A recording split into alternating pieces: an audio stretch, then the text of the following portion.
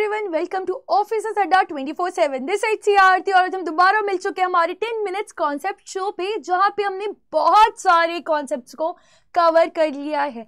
आपके A B F M के chapter का जो एक स्पेशली एक पूरा बहुत बड़ा मॉड्यूल है, वहाँ पे ऐसे कई सारे कॉन्सेप्ट है जो हमें एक बार में समझ नहीं आते हैं और उस पर अगर स्पेशली क्वेश्चन आ गए केस स्टडीज़ आ गया न्यूमरिकल्स आ गया तो आपके लिए ये शो बहुत हेल्पफुल है, अगर आपको नॉर्मली नहीं समझ आता है तो।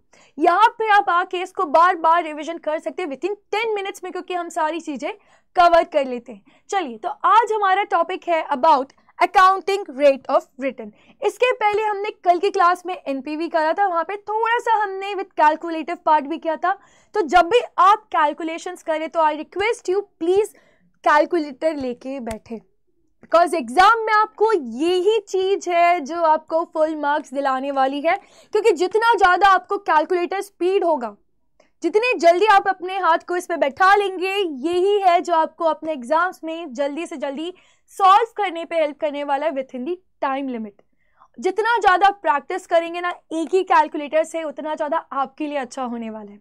तो चलिए, शुरू करते हैं हमारा आज का topic that is accounting rate of return यहाँ पे हम बात करने वाले हैं। ये एक ऐसा रिटर्न हम फाइंड आउट करने वाले हैं यहाँ पे, जहाँ पे हम कंसिडर करेंगे जो बिज़नेस में सारे इनकम्स भी है और सारे जो एक्सपेंसेस बिजनेसमैन कर भी रहा है। वो सब चीज़ों को कंसिडर करने के बाद आखिर हमें कितना रेट मिलेगा? तो वो होता है हमारा अकाउंटिंग रेट ऑफ़ रिटर्न चलिए तो जल्दी से पढ़ लेते हैं और इसमें देखेंगे क्वेश्चंस कैसे आते हैं और इसे सॉल्व करना भी सीख लेंगे। तो यहाँ पे इन शॉर्ट इसका मतलब यही है the A R R method involve estimating the revenue and expenses for years and to find out the average rate of return which can be considered as the rate for appraising the investments ultimately ये यही कहना चाह रहे हैं कि business में जो भी इनकम्स हो रहे हैं, जो भी एक्सपेंसेस हो रहे हैं, उनकी हेल्प से जो हमको सालों सालों में इनकम होने वाली है दैट इज़ अवर प्रॉफिट उसकी हेल्प से हम यहाँ निकालने वाले हैं कि हमें कितना रिटर्न मिलने वाला है। तो यहाँ पे जो फॉर्मूला यूज़ होता है, वो होता है total profit divided by number of years ये होल डिवाइडेड होता है, याद रखिएगा, ये होल डिवाइडेड होता है बाय एवरेज इन्वेस्टमेंट्स और इनिशियल इन्वेस्टमेंट्स करेक्ट तो ऐसे हमें कैलकुलेट करना पड़ता है हमारा ए आर आर चलिए तो ज़्यादा टाइम वेस्ट नहीं करेंगे, इसको अच्छे से समझेंगे with the help of examples because exam में आपको न्यूमेरिकल पे पार्ट आपको ज़्यादा इससे पूछा जा सकता है. आइए, शुरू करते हैं हमारा फ़र्स्ट क्वेश्चन जहाँ पे बोला गया है a project requiring an investment of ten lakh yields profit after tax and depreciation, which is as follows. Year one two three four five five years के हमें यहाँ पे profit after tax in depreciation दिया हुआ है।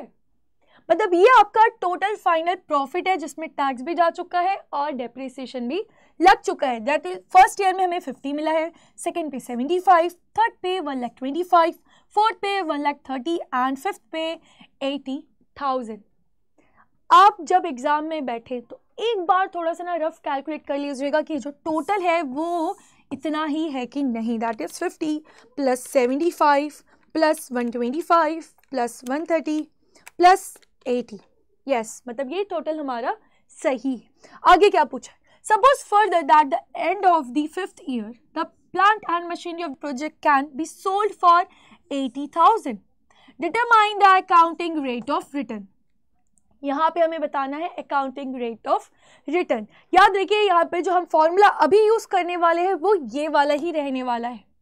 But यहाँ पे हम इनिशियल इन्वेस्टमेंट लेंगे, ना कि एवरेज इन्वेस्टमेंट आप एवरेज से भी कैलकुलेट कर सकते हैं, या फिर इनिशियल से भी कर सकते हैं. बट याद रखिए, दोनों का कैलकुलेशन थोड़ा सा डिफरेंट होता है. ठीक है, चलिए. तो यहाँ पे हम कवर करेंगे इनिशियल इन्वेस्टमेंट को. यहाँ पे आइए. यहाँ पे ए आर आर कैलकुलेट करने के लिए हमने देख लिया. क्या बोला गया था सबसे पहले? Total profit divided by number of years तो ये total profit divided by number of years जो कि होल डिवाइडेड बाय होने वाला है इनिशियल इन्वेस्टमेंट से। तो यहाँ पे सबसे पहले जो हमारा न्यूमरेटर है इसे हम सॉल्व कर लेते हैं। आइए, यहाँ पे न्यूमरेटर जो हमें बोल रहा है, उसके अकॉर्डिंग हमारा टोटल प्रॉफिट ये टेबल में आप देखेंगे तो कितना है? Total profit is your four lakh sixty thousand correct total that is four lakh sixty thousand this will be divided by one two three four five this will be divided by five now initial investment is how much initial investment is your ten lakhs initial investment is your ten lakhs तो क्या हो जाएगा? ये whole divided by होने वाला है। 10 लाख से जिससे आपको मिलने वाला है कितना रेट ऑफ़ रिटर्न है? सबसे पहले हम न्यूमरेटर को सॉल्व कर लेते हैं। 460 460 डिवाइडेड बाय 5 यहाँ पे आपको मिलने वाला है 92,000 यहाँ पे आपको मिल जाएगा 92,000 और डिवाइडेड बाय 10 लाख करेक्ट जब आप याद रखिएगा यहाँ पे आपको परसेंट पे बताना है। जब भी पूछा जाए आपको रेट जब भी आपको पूछा जाए रेट ना उसका मतलब होता है परसेंट में आपको बताना है। तो यहाँ पे जब आप 92,000 डिवाइडेड बाय करेंगे जो आपका आंसर आएगा ना वो आएगा point zero nine two correct और हमें यहाँ पे रेट ऑफ़ रिटर्न बताना है। तो आपको डिवाइड करना पड़ सॉरी इंटू करना पड़ जाएगा विथ हंड्रेड जैसे आप इंटू हंड्रेड करेंगे तो ये हो जाएगा नाइन पॉइंट टू परसेंट याद रखिएगा। ये है आपका ए आर आर ऐसे आपको एग्ज़ाम में कैलकुलेट करना है। नाउ आई थिंक अब आपको समझ आ गया होगा क्या हो रहा है ए आर आर जो हम जितना भी ये जो इन्वेस्टमेंट कर रहे हैं आज के दिन, उससे हमें फ्यूचर में कितने प्रॉफिट्स होने वाले हैं, उनको हमने किया ऐड उसको डिवाइडेड बाय किया, जितने नंबर्स हमने एक्सपेक्ट किया है उससे, वो होल डिवाइडेड बाय कर देते हैं हम लोग जो आज हम इन्वेस्टमेंट कर रहे हैं। तो हर साल हमें जो एक अकाउंटिंग रेट ऑफ़ रिटर्न जो हम इससे एक्सपेक्ट कर सकते हैं, वो है हमारा 9.2 परसेंट ओवरऑल यही बोलना चाह रहा है यहाँ पे आके। चलिए तो ये तो एक वे होता है आपका सॉल्व करने का। अब दूसरा, यहाँ पे ये जो एक सेकेंड आपको दिया, हम एवरेज इन्वेस्टमेंट तो नहीं कर रहे, इसके अलावा अगर आपको पूछ लिया जाए एनुअल बेसिस तो हम करने वाले हैं अब एनुअल बेसिस पे ए आर आर कैलकुलेट आइए पढ़ते हैं question suppose A limited is going to invest in a project of sum three lakh having a life of spend three years life कितनी बोलिए तीन साल बोली है। उसके बाद यहाँ पे सैलवेज वैल्यू दिया हुआ है मशीन का, जो मशीन हम खरीद रहे थे नाइन्टी थाउज़ेंड की। The profit before depreciation for each year is one lakh fifty thousand calculate the A R R on annual basis अब ये जो ए आर आर है, ये हमें पूरे साल का एक बार में निकालने नहीं बोला है। हर साल का कैलकुलेट करने बोला है। तो इसे कैसे कैलकुलेट करेंगे? आइए, सबसे पहले यहाँ पे आपको बनाना पड़ जाएगा टेबल फॉर्म यहाँ पे हम थोड़ा ना इजी और सिंपल वे में समझना चाह रहे हैं कि एक्चुअली यहाँ पे क्या होता है। आइए तो यहाँ पे सबसे पहले हम लोग लिख लेते हैं year that is one two three correct यही बोला गया है। और हमें क्या बताया गया है कि द प्रॉफिट बिफोर डेप्रिसिएशन मतलब प्रॉफिट बिफोर डेप्रिसिएशन आपको दिया हुआ है, कितना? यहाँ पे दिया हुआ है one lakh fifty one lakh fifty यहाँ पे भी आपको दिया हुआ है वन लाख फिफ्टी यहाँ पे आप सबसे पहले तो डेप्रीसिएशन माइनस करेंगे। याद रखिएगा प्रॉफिट बिफोर डेप्रीसिएशन बोला है तो सबसे पहले हमारा डेप्रीसिएशन हटेगा। तो हमें यहाँ पे पता है कि यहाँ पे हमने जो मशीन पे इन्वेस्ट किया है वो थ्री लाख की है। और तीन साल इसका लाइफ है सैलवेज वैल्यू में नाइन्टी थाउज़ेंड दिया है। तो क्या हम डेप्रीसिएशन कैलकुलेट नहीं कर सकते क्या? बताइए, क्या हम ये डेप्रीसिएशन कैलकुलेट नहीं कर सकते? कर सकते हैं। हमें तो पता ही है कैसे आता है। Depreciation equal to three lakh life बोली है।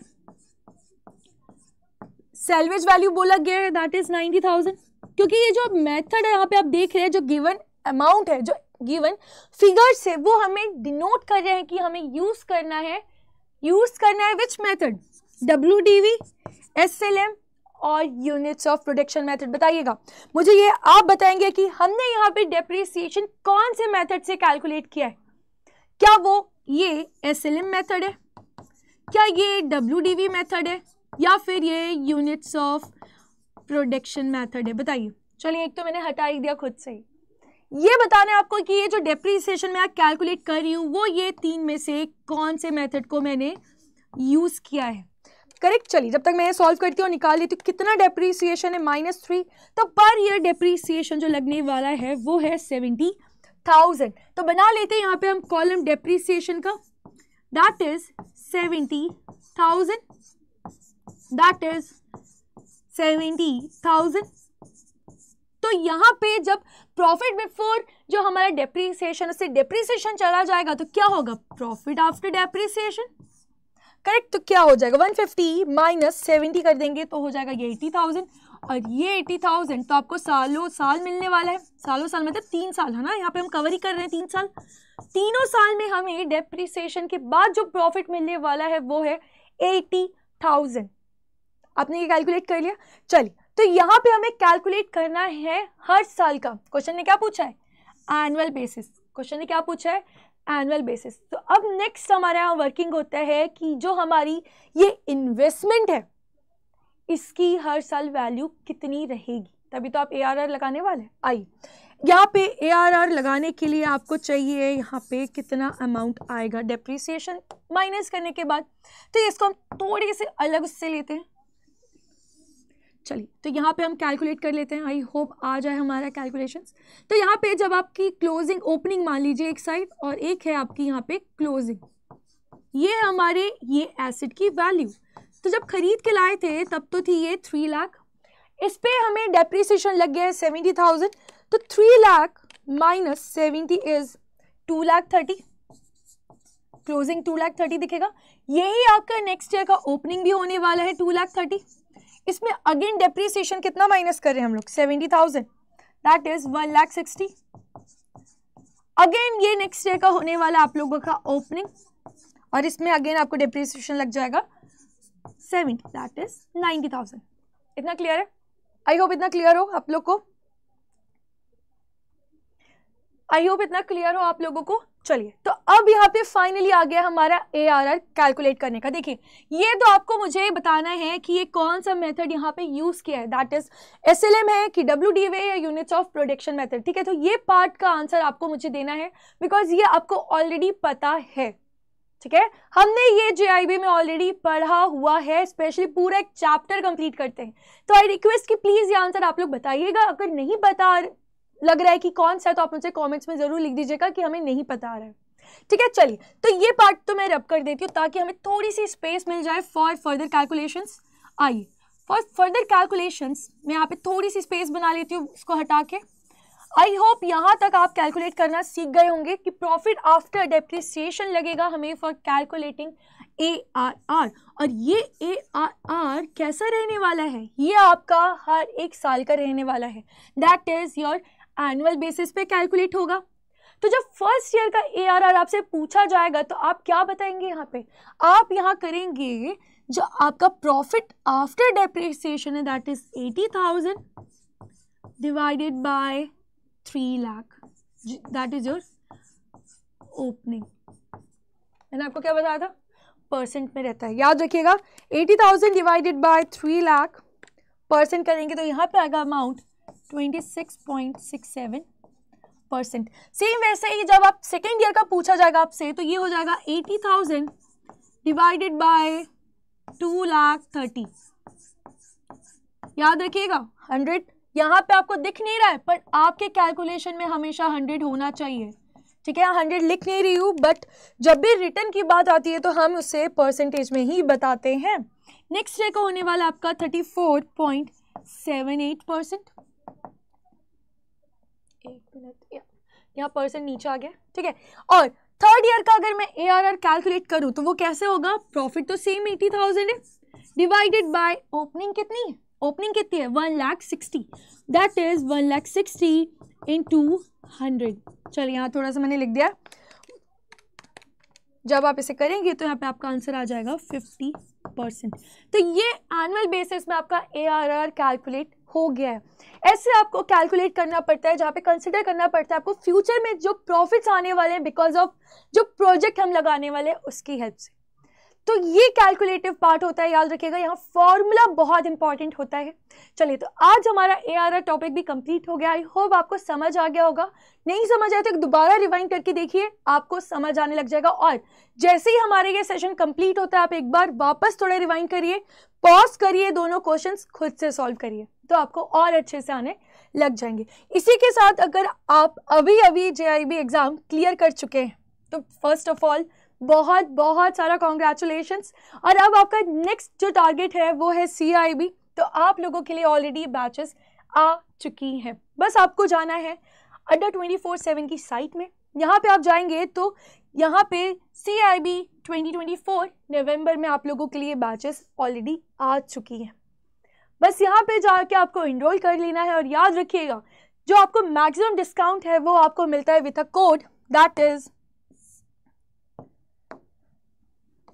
Y eight nine five देखिए, यहाँ पे आपको दो बैचेस तो दिख रही हैं, ठीक है? बट अगर आप मुझसे पूछते हैं कि मैम ये बैचेस और ये जो महापैक है, इसमें क्या डिफरेंस है? और हमें एक्चुअली क्या लेना चाहिए? तो मैं आपको बता दूँ कि जो ये बैचेस है, ये ज़रूर कॉम्प्रिहेंसिव बैचेस है, हर चीज़ कवर होगी। बस वो कवर हुई और बैचेस ख़त्म। बट जब आप इनरोल करते हैं ना महापैक 2.0 में जाके सीआईबी चाहे जेआईबी में तो यहाँ पे आपको ये बैचेस तो मिलती ही मिलती है। इसके बाद जो आपके क्रैश कोर्स आते हैं, वो भी यहाँ पे मिल जाते हैं। इसके बाद जो आपके रिविजन्स होते हैं, वो भी यहाँ मिलते हैं। मॉक टेस्ट वगैरह की अवेबिलिटी और यूजिबिलिटी आपको यहाँ ईजिली मिल जाती है। उसके बाद जो आपके रिविजन बैचेस आते हैं, महा मैराथन्स आते हैं मतलब टिल योर एग्ज़ाम हम आपके साथ हमेशा बने रहते हैं। हमेशा मतलब हमेशा। बट जब आप यहाँ पे इनरोल करेंगे ना तो आपको बार बार बैचेस परचेस करनी पड़ती है। और कई बार ऐसा होता है कि हमको ना एकदम ध्यान नहीं रहता और बैचेस कुछ चालू हो जाती है दस पंद्रह दिन बाद पता चल रहा है। तो ऑलरेडी हम सिलेबस से बहुत पीछे हो जाते हैं। तो इट्स अल्टीमेट कि आप जाए और ये महापैक 2.0 में आप इनरोल कर लीजिए। क्योंकि यहाँ पे जो भी न्यू न्यू आप लोगों के लिए आते रहेगा टिल एग्ज़ाम्स हर चीज़ आपको यहाँ पे एक बार इन्वेस्ट करने पे ही मिलने वाली है। याद रखिएगा, यहाँ पे आपको कोड लगाना पड़ता है वाई एट नाइन फाइव तभी जाके आपको यहाँ मिलता है मैक्सिमम से मैक्सिमम डिस्काउंट आई होप आज आपका एआरआर भी क्लियर हो गया होगा। अगर ये सेशन हेल्पफुल लगा होगा तो प्लीज़ लाइक करिएगा शेयर कर दीजिएगा और सब्सक्राइब कर लीजिएगा हमारे office Adda twenty four seven के यूट्यूब चैनल को, ताकि जो भी न्यू न्यू अपडेट्स आती है, आपको हमेशा तुरंत मिलती रहे। Thank you for watching